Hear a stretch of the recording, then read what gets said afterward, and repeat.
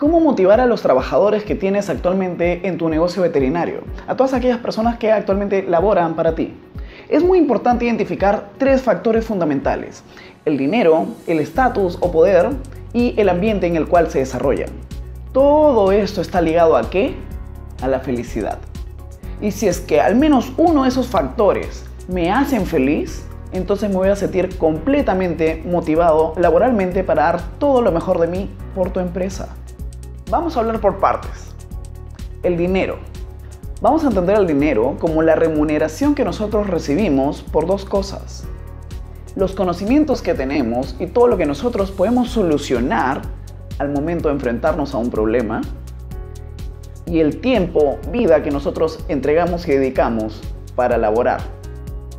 ¿Cómo podemos motivar a nuestros empleados con dinero? Ingresando tu personal en planilla luego del tiempo correspondiente de prueba y cubriendo formalmente los beneficios de ley que corresponden por su trabajo. Comisiones de ventas o bonos por una labor excepcional, prometiendo aumentos de sueldo siempre y cuando el trabajador haya logrado un mejor nivel de conocimientos, por lo cual puede encargarse de mayores responsabilidades. Por ejemplo, una crisis en la que un perro se murió en plena cirugía y el trabajador entra en una negociación con el dueño de la mascota de tal forma que puede evitar una demanda para la clínica. ¡Wow! Obviamente eso merece un premio. Es una con otra. Él adquiere nuevos conocimientos no contemplados a un inicio y por ende comienza a ejecutar nuevas funciones y nuevas responsabilidades dentro de su mismo horario de trabajo. Estatus y poder. Hace varios años tuve la oportunidad de trabajar en Coca-Cola como asistente de marketing y bueno, la verdad para hacer una empresa como Coca-Cola no percibía un ingreso tan alto como uno se podría imaginar. Sin embargo, me sentía muy feliz porque al momento de yo decir que trabajaba en Coca-Cola, se me abrían muchas puertas. Entonces recuerdo mucho que los proveedores eran muy atentos conmigo y por ejemplo me invitaban a reuniones sociales o me invitaban a almorzar o me regalaban cositas y por ahí una que otra vez también aparecía en medios de prensa o en eventos sociales. Entonces, ¿entiendes por dónde va el punto? Si estás en la posibilidad y la magnitud de tu negocio lo permite, debes de proceder con esto.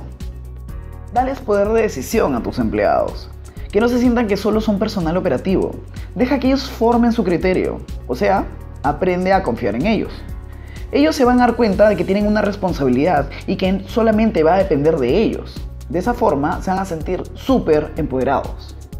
Todo lo que le regalen a tu empresa, compártelo con ellos invitaciones a eventos, entrevistas, merchandising, todo por lo cual ellos se puedan sentir orgullosos de decir que trabajan en tu empresa. Preséntalos constantemente. Involúcralos en las fotos, que salgan en tus redes sociales, pregúntales su opinión sobre todo.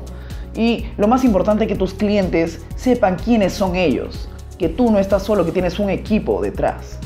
Solo así se van a sentir motivados, empoderados, porque sienten que donde están trabajando les pertenece ambiente laboral. Para mí esto es lo más fácil de todos y el más importante, la verdad. Y lo único que tú necesitas es ser mucho más sensible. Conoce sus sueños, pregúntale qué es lo que más desean en la vida y hagan un plan con el cual puedan ir avanzando como para que poco a poco lo puedan conseguir. Sé bueno con su familia. ¿Cuántos hijos tiene? ¿Cuándo es el cumpleaños de sus papás? ¿Se le murió un familiar? Pues dale el día libre.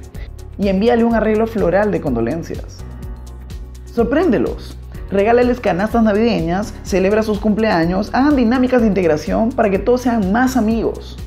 Si no puedes ofrecerles muchas comodidades aún, entonces preocúpate por ser mucho más creativo para poder hacerlos felices. Basta con sorprenderlos. Ahí está la magia del ambiente laboral.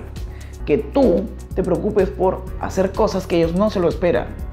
Ahí está nuestra magia, la cual debería ser nuestra misión como empleadores. Porque de esa forma, al sorprenderlos y hacerlos felices, van a tener total disposición de escucharnos, de captar lo que nosotros queremos que ellos transmitan y ejecutarlo con muchísima más disposición.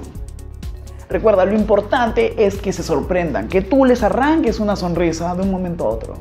Para cerrar este capítulo es muy importante saber en qué momento motivar a tus empleados y en qué momento castigarlos. Si es que estas personas no quieren formar parte de tu equipo, a pesar de todas las dinámicas de integración o de motivación que tú les estás dando, entonces piensa bien de segregarlos.